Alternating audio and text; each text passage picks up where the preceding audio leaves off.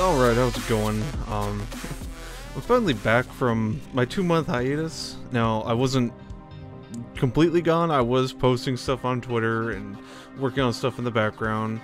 Um, the next series that I'm actually working on was one that I've been doing throughout my entire YouTube career. It's just, it's going to be a little more uh, video game focused now. Rather than focusing on everything, uh, the series is called Street Talk, and it's going to focus on video game media. I, I, I, guess I really don't know how to explain it, but it's basically just going to be about video games, and there will be a separate one for comics and uh, well, actually comic book movies and just other random shit. So this one specifically is for video games and uh, anything relating to video games. And speaking of which, uh, I'm not sure if you guys have heard, but there's actually a Castlevania Netflix series being worked on and I'm pretty fucking excited for that. Especially with the people working on it. We got fucking uh, Adi Shankar, who worked on Judge Dredd, which was alright, and Lone Survivor, which I haven't seen personally, but I've heard good shit about it. He work he's the producer of this series, and he's working with a couple of people that worked on Adventure Time, and I fucking love Adventure Time. He's working with, uh, where are they? I've got the article open right here. Uh, he's working with two producers, Fred Seibert, I'm not sure how to pronounce his last name, and Kevin Kolde from Adventure Time, which has honestly got me pretty fucking excited. And apparently this is all being written by Warren Ellis. Now, I don't know what he's worked on.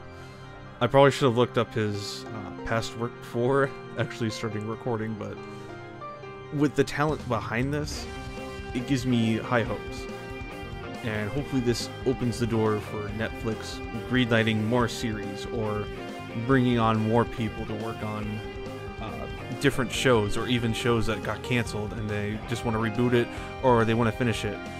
How Adult Swim is picking up Samurai Jack and is going to finish it. Um, I see Netflix doing that. And to be honest, I'd like to see them finish Invader Zim properly. Now, like most 90s kids, um, everybody wants to. Uh, there's like a huge fucking track record, like, oh, fucking edgy kids or edgy uh, teens, whatever you want to call them, uh, watching Invader Zim. But honestly, I want to see that show finished. Um, from what I understand, it finished with an abrupt ending. Uh, the last episode that aired was actually the Christmas episode, and honestly, if I feel like it deserves a better ending than that. Um, but besides all that shit, according to what the producer is saying, uh, this is supposed to end the dreaded video game adaptation curse. Now, I'm gonna have to take his word for that one. I haven't seen a single bit besides um, just just what he's been posting. That, that's all I've been seeing. So I'm just gonna completely take his word for it. I hope it turns out better than I expected. Um, I really don't have that high of expectations for this. I mean, it's, it's a fucking Castlevania TV show.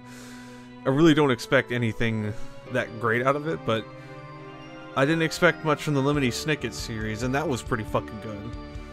Granted, I've only watched the first episode, but it is a really good adaptation, and I hope to finish it pretty soon.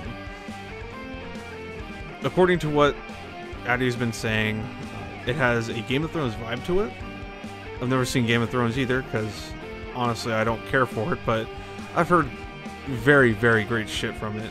And if it's going to be Game of Thrones related, I hope it is ultra violent. And I have heard reports that it's going to be super fucking violent. And if, if they could get away with this for like an animated cartoon on fucking Netflix, then I'll be all game for it. I'll probably do a review of the first episode and then like a whole season review. Um, I don't know if I'll actually go through with it or not, but if this episode is is uh, received well, I will definitely, you know, cover more of the uh, Castlevania TV show or Netflix series, whatever the fuck you want to call it. And speaking of Castlevania, I've actually got a uh, got a little set of Smash Bros videos coming out pretty soon, so stay tuned for that.